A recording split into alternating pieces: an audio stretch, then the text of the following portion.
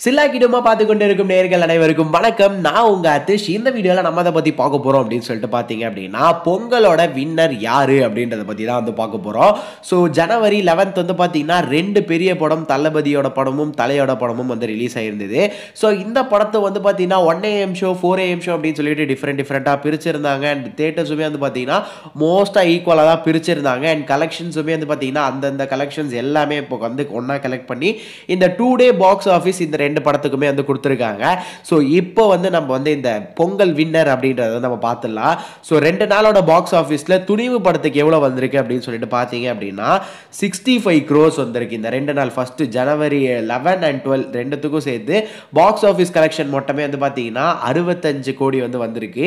And வாரிசு படத்துக்கு எவ்வளோ அப்படின்னு கேட்பீங்க? எஸ் வாரிசு படத்துக்கு வந்து எவ்வளோ வந்திருக்குன்னு பார்த்தீங்கன்னா ரெண்டு நாளைக்கும் சேர்த்து பாக்ஸ் ஆஃபீஸில் எயிட்டி க்ரோஸ் கிட்ட வந்திருக்கு. ஓகேவா ஸோ இதெல்லாம் ஒரு பக்கம் வந்து இருந்தாலும் தளபதி தலை அப்படின்னு சொல்லிட்டு ரெண்டு சைடும் வந்து பயங்கரமாக வந்து இந்த போஸ்டர்ஸ்லாம் வந்து இது பண்ணிக்கிட்டு இருக்காங்க ரிலீஸ் பண்ணிக்கிட்டு இருக்காங்க ஸோ வாரிசு படத்து சைட்ல இருந்து வந்து பார்த்தீங்கன்னா பொங்கல் வின்னர் அப்படின்னு சொல்லிட்டு வாரிசு போஸ்டர் இறக்கிறதா இருக்கட்டும்.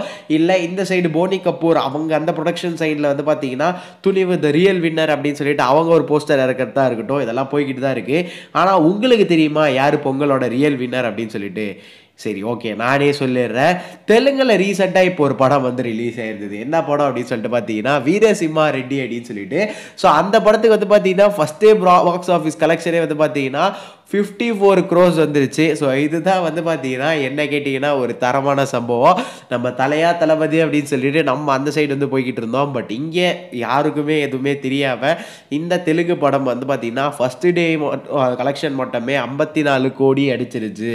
ஸோ பொங்கலோட ரியல் வின்னர் ஃபஸ்ட் டே கலெக்ஷனுக்கு மட்டும் பார்த்தீங்க அப்படின்னா வீரசிம்மா ரெட்டி